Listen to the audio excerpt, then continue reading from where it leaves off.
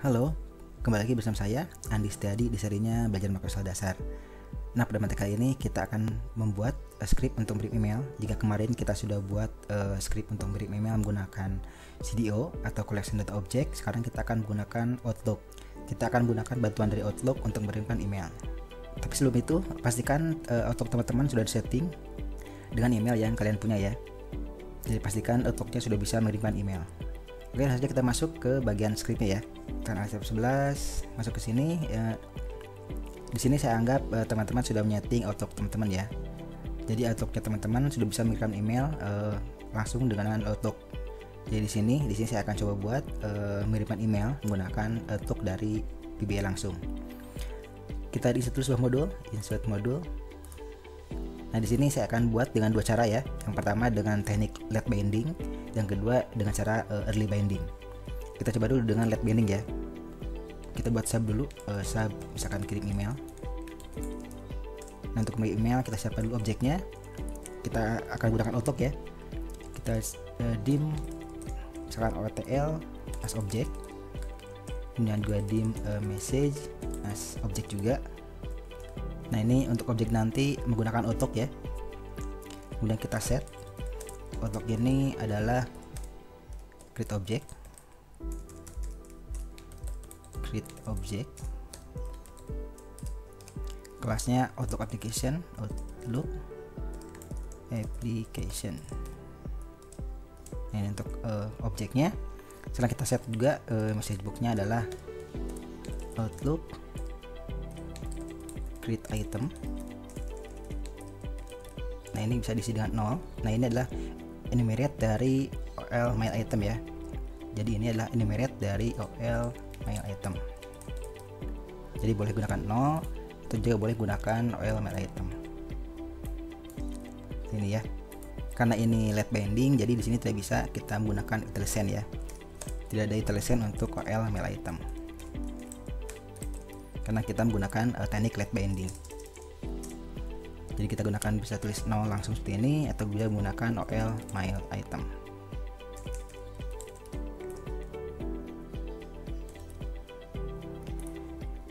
Nah itu untuk uh, objek message-nya. Tinggal kita buat with message.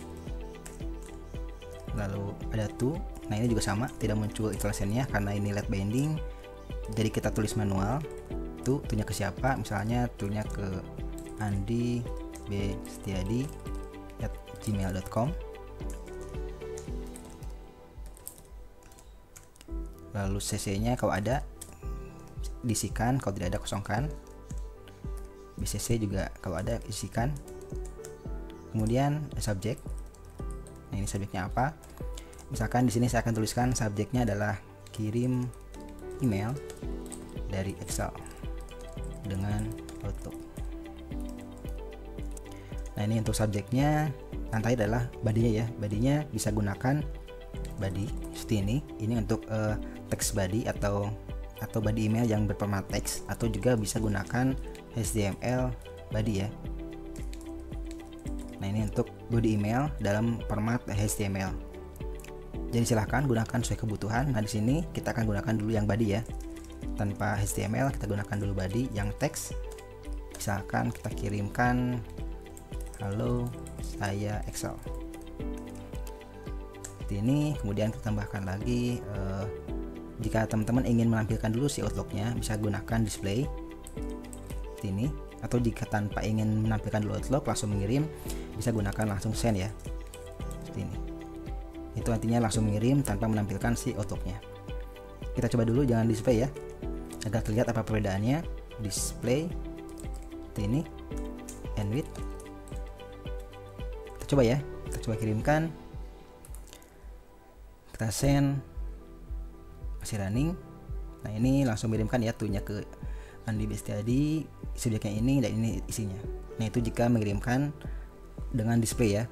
Artinya menampilkan terlebih dahulu tanpa melakukan send. Oke kita close dulu ini. Nah jika ingin langsung kirim atau setelah menampilkan yang dikirim bisa tambahkan send juga. Send atau juga bisa langsung dikirim ya tanpa menampilkan uh, si outlooknya. Seperti ini langsung send. Kita coba ya. Ini langsung mengirim ke uh, email sini. Play running dan langsung kirim ya. Langsung kita lihat di email. Refresh. Nah langsung muncul. Andi Setiadi email dari Outlook. Ini ada ya.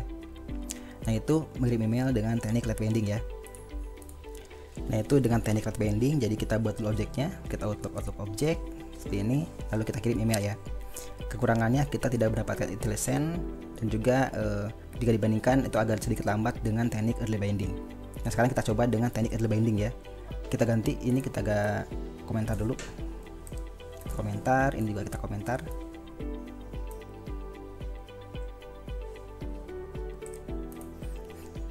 Nah sekarang kita akan gunakan early binding. Early binding kita bisa gunakan tool, preference. Nah di sini kita tambahkan untuk objek ya. Cari untuk objeknya Microsoft Outlook. Nah Microsoft Outlook objek library yang ini kita aktifkan. Nah, sekarang kita sudah mendapatkan objek si Outlook ya tanpa buat tanpa harus menggunakan get objek ya. Nah sekarang kita tambahkan di sini uh, dim sama seperti tadi dim Outlook. Sini as tidak as objek lagi tapi as uh, Outlook application langsung ya untuk application seperti ini. Lalu si message juga sama di MSG as Outlook mail item. Sini. Jadi tidak sebagai objek tapi sebagai Outlook mail item langsung. Nah ketika di sini itu kita sudah mendapatkan IntelliSense ya. Sudah ada IntelliSense nya Outlook atau OL mail item atau misalnya kita tambahkan dengan 0 juga bisa sih 0 seperti ini. Itu artinya ini mirip dari OL mail item. OL mail item seperti ini. Nah untuk si variable MSG ini juga kita sama mendapatkan sebagai telesen kita coba ya. Kita ini kita uh, komentar dulu. Kita komentar kita coba. Titik tuh sudah ada ya tuhnya Gandhi lalu titik. Apalagi CC juga sama sudah dapatkan intelesennya hapus lagi kita gunakan yang ini. Tuhnya sini cc nya ini dan sama ya. Oke. kita kirim hal yang sama kita coba jalankan. Objek variable object not set. Uh, ini kita belum buat si outlooknya ya. Kita baru buat deklarasinya saja di outlook applicationnya. Nah kita buat dulu objeknya. Kita set uh, outlook ini adalah new Outlook application. Nah ini kita buat objeknya di sini di new Outlook application. Sekarang kita coba lagi, kita kirimkan running ya. Sudah berhasil. Kita lihat dulu di sini.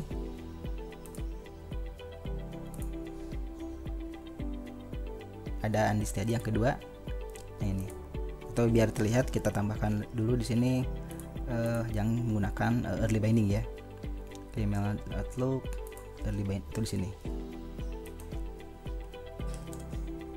Dengan early binding. Kita play lagi.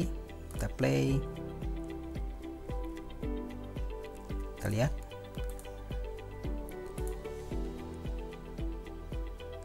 Nah ada masuk dengan early binding. Nah ini dengan teknik early binding ya. Sudah bisa. Nah itu untuk kirim email menggunakan Outlook ya. Nah pastikan Outlook teman-teman sudah disetting agar bisa mengirimkan sebuah email Nah, agar lebih menarik, ini juga bisa kita buat di sheet ya. Di sini misalkan kita buat uh, tuhnya ke siapa, lalu CC, BCC, subject, dan email body atau body langsung. Buat ini juga bisa, uh, misalkan di sini kita berwarna sedikit misalkan tuhnya ke andi titik setiadi at gmail.com jadi kita isinya di sini tidak di scriptnya agar lebih memudahkan. Ini kosong ini kosong. Subjeknya misalkan halo apa atau gak pakai string halo apa kabar? Sini ya halo apa kabar saya Excel. Seperti ini nah sekarang kita akan buat sebuah tombol dengan save ya. Dengan save atau juga boleh menggunakan uh, developer yang ini yang uh, desain form control. Bebas ya boleh menggunakan form control juga boleh menggunakan uh, save di sini saya gunakan save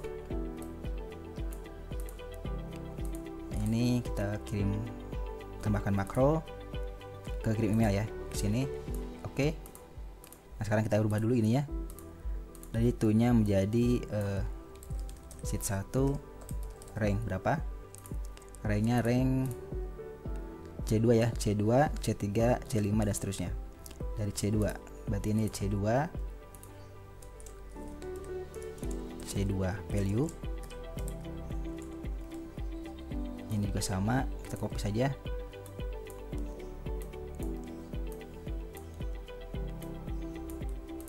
ini C3 C4 C5 dan C6 jadi body ini ada di C6 ya. Body di C6 kita lihat body di C6 nah udah benar.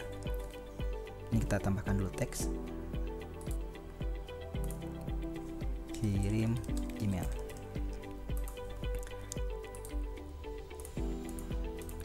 Sekarang kita coba ya.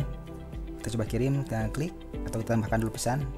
Agar kelihatan di sini misalkan message box email sudah berhasil terkirim.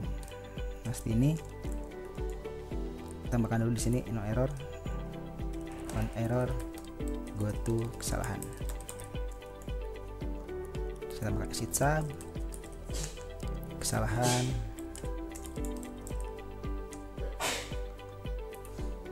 Adalah message box email gagal dikirim. Tambahkan enter bb new line dan error.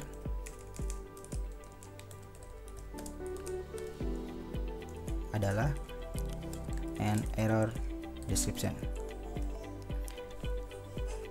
Sudah sekarang kita coba kirim dengan mengklik tombol ini. Kita klik sudah email sudah terkirim ya. Oke kita lihat lagi. Refresh. Sudah ada. Halo apa kabar? Dan halo apa kabar saya Excel. Nah, itu jika menggunakan seperti ini. Menggunakan sebuah sheet ya. Nah untuk attachment juga sama. Untuk attachment juga bisa ditambahkan di uh, attachment ya di sini. Tinggal titik attachment ada attachment tinggal tambahkan lokasi filenya ya lokasi filenya di mana tinggal tambahkan di sini ini lokasi file seperti itu Tentang untuk contohnya bisa juga dilihat di video sebelumnya yang mengirimkan email menggunakan uh, Gmail langsung. Ya gunakan CDO ya, collection data object. Jika ini menggunakan Outlook. Oke, uh, saya rasa untuk video kali ini cukup. Bagi teman-teman yang ada pertanyaan, boleh tanyakan langsung di komentar. Terima kasih sudah menonton. Bagi teman-teman yang belum melakukan subscribe, silahkan subscribe terlebih dahulu. Dan juga aktifkan loncengnya ya, agar mendapatkan notif jika saya mengupload video terbaru. Uh, sampai jumpa di video selanjutnya.